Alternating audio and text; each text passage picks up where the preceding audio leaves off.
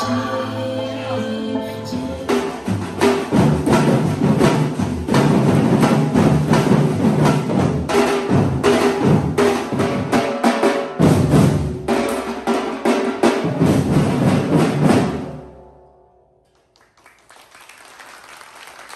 民中小学国中部第五十四届毕业典礼，典礼开始。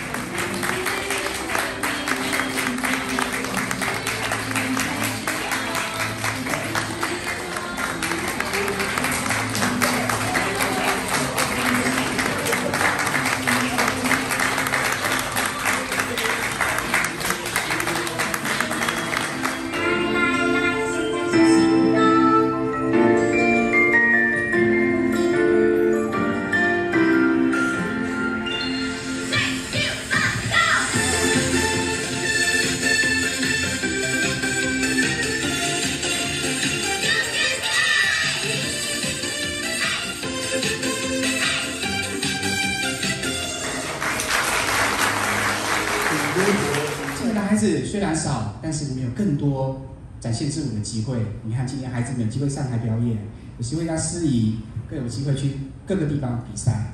先生在去年台大的毕业典礼演讲上的那一句话：“你永远不知道你现在是在为了食物而奔跑，还是被食物而追逐。但是无论如何，你可以做一件事情，就是尽力的奔跑。孩子，奔跑吧！”祝三位毕业生哦，顺利完成国中的学业，即将迈入下一个新的学习里程。相信你们未来只要找到自己的兴趣啊，认真的学习，将来一定有机会成为我们举官之光的。恭喜你们！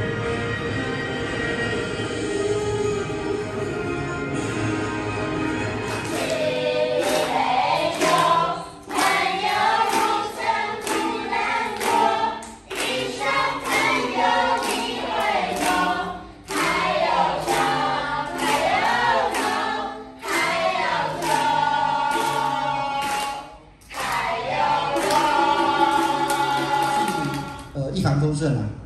啊，你们未来呢会呃面临非常非常多的困难挑战，啊，也会遇到非常非常多的失败，啊，但是失败并不重要，啊，我想我们呃面对问题、挑战问题、克服问题，啊，当你拥有更多的能力，当你拥有更多的决定权的时候。